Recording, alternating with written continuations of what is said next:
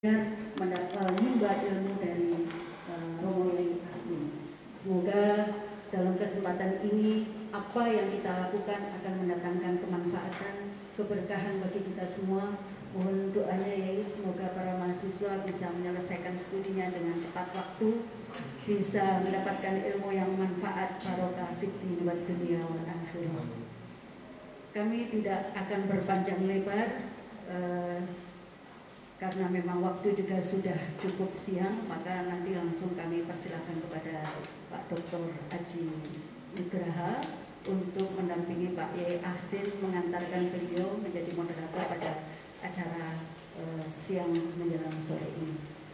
Kami mewakili dari pengelola Pasca Sarjana UIN Salatiga mengucapkan terima kasih yang sedalam-dalamnya, setinggi-tingginya atas kehadiran Bapak Ibu semuanya Semoga jalinan kerjasama ini tidak akan pernah berhenti dan pada masa yang akan datang justru akan mendatangkan kemanfaatan dan keberkahan untuk tugas-tugas kita semuanya. Wallahu muwaffiq.